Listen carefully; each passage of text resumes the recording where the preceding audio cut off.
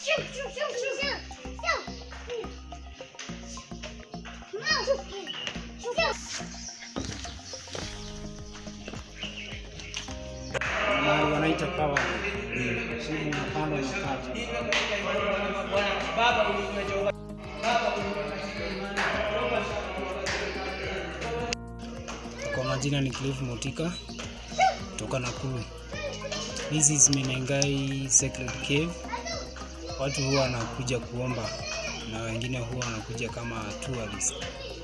So, most of them wenye wanakuja ni wenye wanakuja huku ndani kuomba fasting siku zenye mtu anahitaji ama vile ameitwa na Mungu, wanakuja wanakaa huku kama ni one week, three weeks, three days, wakimaliza alafu Mungu anatoka Kwa- mwezi. Tuseme kama saizi wakikuja Wednesday unaweza pata watu kama 60 per month, wanaweza kuwa almost 600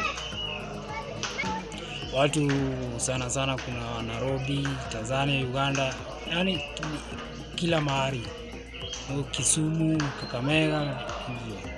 Watu wanalala chini, wanatandika magunia, wanalala chini kwa uvu- uvumbi, majitolea. Hakuna kulala, ni kujiekelea huku, ni maombi nani stop. Mimi kwangu ni usafi, kuwasaidia na bado naomba, niko class yeah? niko maombi hata mimi anawasaidia nawaonyesha, kuna mablanketi nawawekea, kuna vitu kama ni maji tunasaidiana, kaa ni duka huko, watu wapiki wanatumia maji moto, strong tea hizo, usafi, cleaning, compound, hizo ndio nafanya.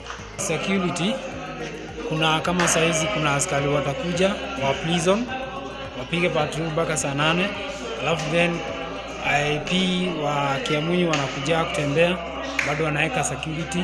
Nayo usiku usiku tuna hata zi tunaomba Mungu tu anatupea tu security.